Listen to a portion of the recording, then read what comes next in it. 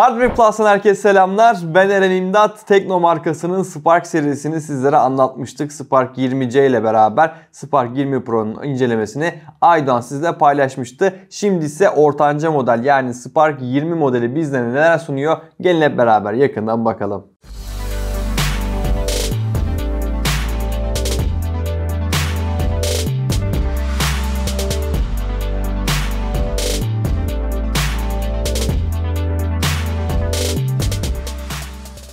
Her zaman olduğu gibi tasarım kısmıyla telefonu incelemek istiyorum. Spark 20C'den veya Spark 20 Pro'dan farklı bir tasarım anlayışı sunmuyor bizlere. 3 telefonla tasarımı birbirlerinin neredeyse aynı diyebilirim. Ufak tefek farklılıkları tabii ki bulunuyor. Karşıdan şöyle bir baktığınızda gerçekten şık görünen bir telefon olduğunu hemen anlayabiliyorsunuz. Elinizde tuttuğunuzda ise ince bir telefonla beraber olduğunuzu da anlayabiliyorsunuz. Boy tarafında 163,7 mm'lik bir boyu, 75,6 mm'lik eni ve 8.5 mm'lik bir kalınlığı bulunuyor. Gerçekten de ince formda olan bir cihazda beraberiz burada. Ağırlık tarafında ise detaylı bir bilgi bulamadım ama 200 gramlık psikolojik sınırın hemen yakınında olduğunu düşünüyorum. Yani 205 gramlarda falan olduğunu düşünüyorum burada. Gayet iyi bir şekilde ayarlandığında söyleyeyim sizlere. Devam ettiğimde ise IP53 sertifikası bulunuyor. Yani suya ve toza karşı da bir dayanıklık sertifikası bulunuyor ama şarıl şarıl suya karşı veya kum gibi tozlara karşı olmadığını da eklemem lazım burada. Ve tabii ki de telefonun detaylarını da göz atacak olursak da telefonun sağ tarafında güç tuşuna entegre olmuş bir parmak izi okuyucumuz var. Gayet kararlı bir şekilde çalışabiliyor bu arada. Ses açma kapatma tuşları da burada yer alıyor.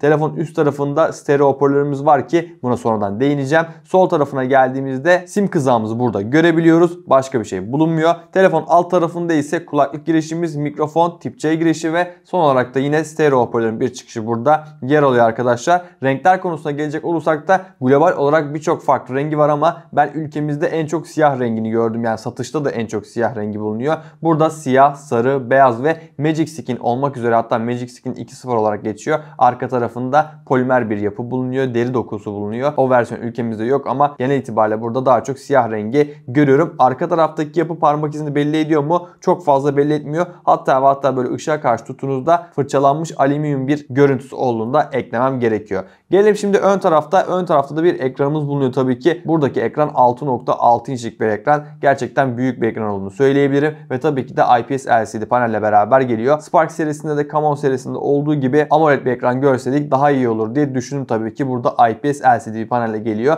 Çözünürlük tarafında ise HD Plus'lık bir çözünürlüğü bizlere kullanıyor. Tam olarak 720'ye 1612 çözünürlük burada verilmiş durumda. Ama HD Plus ve IPS LCD panel kötü mü diye soranlar olacak. Yani segmentini düşündüğümde bence daha iyi telefonlar bulunuyor burada ekran konusunda. Ama genel itibariyle çok da kötü bir ekranı olmadığı kanaatindeyim ben. Zaten Aydoğan da sizlere Spark 20C'nin incelemesinde oradaki TFT ekranı veya IPS LCD ekranın güzel olduğundan bahsetmişti. Ben de görüntülerin gayet iyi olduğunu düşünüyorum ama tabii ki de segmentine bence yakışmayan bir ekran çözünürlüğüyle beraber IPS LCD olduğunu da düşünüyorum. Ekranın tek güzel noktası 90 Hz destekliyor olması. Yani pürüzsüz görüntüler elde edebiliyorsunuz. 1.5 kat daha kaydırması bol olan bir ekranla beraber oluyorsunuz. 267 ppi bizlere gösterebiliyor. Pikselleri sayıyor musunuz? Yani saymadığınızı söyleyebilirim ama genel itibariyle dediğim gibi HD Plus bir ekran olması çözünürlüğün de düşük olmasıyla beraber PPI'yi de etkiliyor ve bu yüzden de düşük bir piksel oranı burada bizlere sunabiliyor. Ekran gövde oranına bakacak olursak da %84,6'lık bir ekran gövde oranı yer alıyor. Telefon alt çerçevesi biraz daha kalın olduğunu söylemem gerekiyor.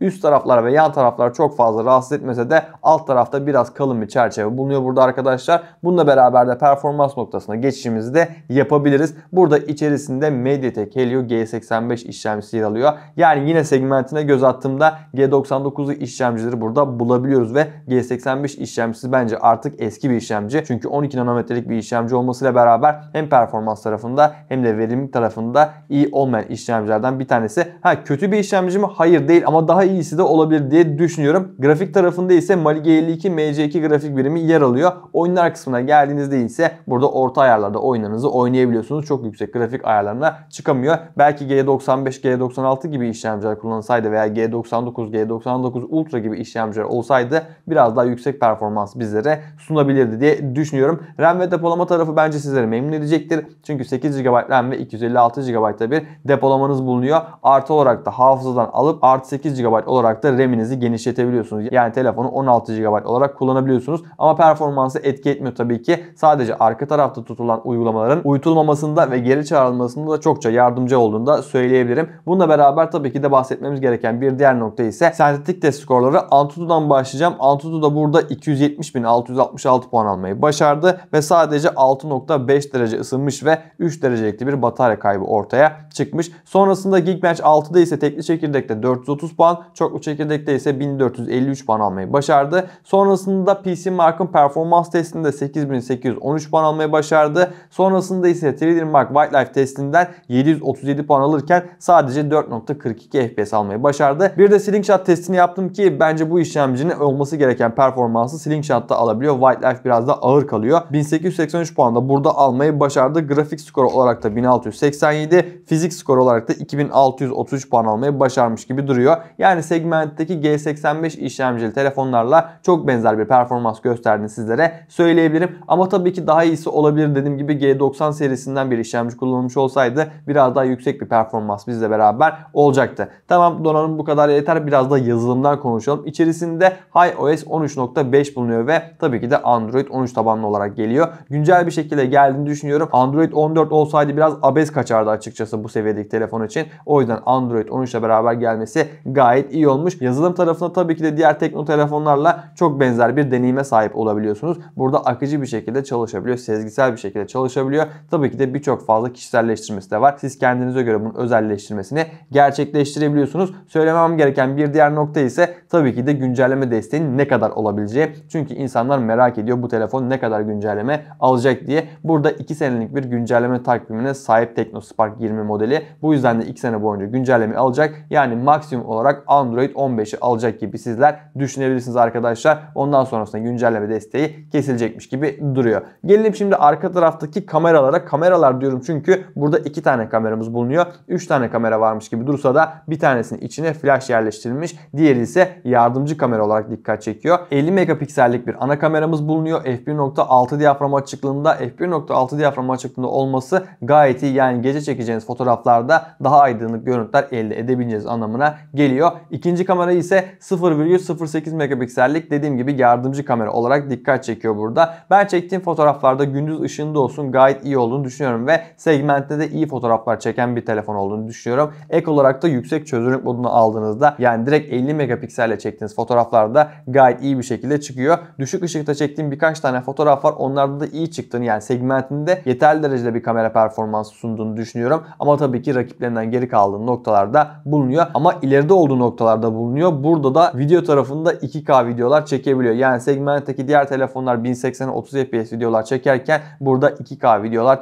çekebiliyorsunuz arkadaşlar. O da gayet iyi. Yani çözünürlüğü daha fazla olduğunu söyleyeyim. E tabii ki de OIS bulunmuyor. OIS bulunmaması sebebiyle de videolarınız biraz sallantılı bir şekilde çıkabiliyor. Sizin biraz daha yardımcı olup sabit bir şekilde telefon tutmanız gerekiyor video çekerken. Ama onun dışında herhangi bir problem olacağını düşünmüyorum. Telefon ön tarafında delik ekran formunda bir ön kamerada burada yer alıyor. Onun da çözünürlüğü 32 megapiksel olarak ayarlanmış ve f2.2 diyafram açıklığına sahip çektiğim fotoğraflardan gayet memnun kaldığımı söyleyebilirim. Özellikle çözünürlük olarak yüksek olduğu için de iyi bir fotoğraf kabiliyeti bulunuyor. Video tarafında da yine arka tarafta olduğu gibi 2K'da videolar çekebiliyorsunuz. Bu da belki de en güzel noktalarından bir tanesi olduğunu düşünüyorum. E bir de ön kameranın aslında en güzel noktalarından bir tanesi burada çift led flash'ı desteklemesi. Yani siz karanlık alanlarda daha iyi bir fotoğraf çekmek istiyorsanız buradaki çift led flash açtıktan sonra sanki bir gece modu efekti olmuş gibi fotoğraflar çok daha aydınlık çıkıyor. Dediğim gibi segmentteki ayrışan noktalardan bir tanesi de buradaki ön kamerada bulunan çift led flash olduğunu söyleyebilirim.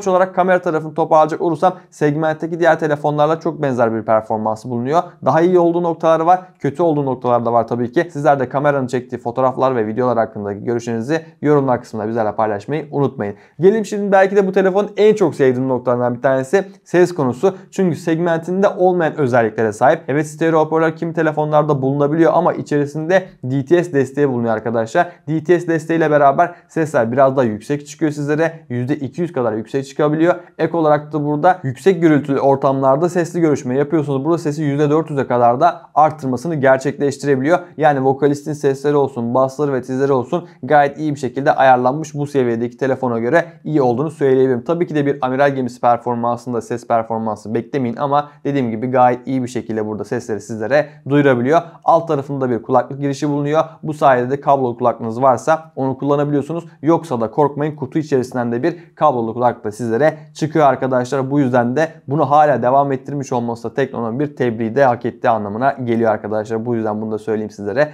Devam ettiğimde ise burada tabii ki de FM radyo ile beraber de radyonuzu dinleyebiliyorsunuz. Günümüzde kimler radyo dinliyor hala bilmiyorum ama çünkü birçok fazla online servis bulunuyor. Spotify bulunuyor, Apple Music bulunuyor, Tidal bulunuyor, Deezer bulunuyor vesaire vesaire. Birçok servisi var ama FM radyo isteyenler için de burada içerisinde hazır bir şekilde FM radyo geliyor arkadaşlar. Batarya konusu içerisinde 5000 mAh'lik bir batarya yer alıyor. Yani standart artık burada 5000 mAh'lik bir batarya ile gelmiş olması da gayet iyi. G85 işlemcisini ne kadar uzun ömürlü bir şekilde götürüyor diye düşündüm ben 5000 mAh'i. Gayet iyi bir şekilde götürebiliyor. Yani kendisi çok fazla güçlü olmayan bir işlemci olduğu için de 5000 mAh'lik batarya çok fazla yormuyor. Bu yüzden de bataryanız gayet iyi bir şekilde gidebiliyor. Benim yaptığım testlere göre 1,5 gün rahat bir şekilde görebiliyorsunuz buradaki bataryayla beraber. Peki ne kadar hızlı bir şekilde şarj edebiliyorsunuz? 18 wattlık bir şarj aleti bulunuyor. Bu sayede de yaklaşık olarak 1 saat 1,5 saat aralığında şarjınızı tamamen doldurmuş da oluyorsunuz 5000 mAh arkadaşlar. Ve tabii ki de ağ bağlantıları Wi-Fi 5 ile beraber Bluetooth 5.2'yi de destekliyor. NFC'miz de var tabii ki. Kendiniz burada NFC ile beraber ödemelerinizi gerçekleştirebiliyorsunuz veya metrobüse, Marmara'ya falan binecekseniz de burada tık diye okutarak hemen NFC'yi de kullanabiliyorsunuz. Son olarak fiyat kısmına gelmek istiyorum. Fiyat tarafında ise şu anda 8500 lira, 8600 lira bandında TeknoSpark 20'yi bulabiliyorsunuz arkadaşlar. 8500 lira bandında daha iyi olan telefonlar var mı? Hatta kendi içinde olan telefonlardan birkaç tanesinde ben buldum. Özellikle Spark serisi yerine Camon serisi almak çok daha mantıklı burada. Camon 20 modelini satın alabiliyorsunuz. Orada hem Full HD plastik bir ekran çözünürlüğü hem de AMOLED bir panelle beraber geliyor. Bu yüzden de biraz daha iyi bir telefon olduğunu düşünüyorum. Ne kadar G85, G86 gibi işlemciler kullanmış olsa bile ve tasarım anlamında da bence Camon serisinin tasarımları çok daha iyi olduğunu düşünüyorum Spark serisine göre. Peki sizler neler düşünüyorsunuz Tekno Spark 20 modeli hakkında? Sizler satın almayı düşünür müsünüz? Ya da bu model yerine başka bir telefon almayı düşünür müsünüz? Kendi görüşlerinizi bizlerle paylaşmayı unutmayın. Bir sonraki videoda kendinize çok çok iyi bakın. Hoşçakalın.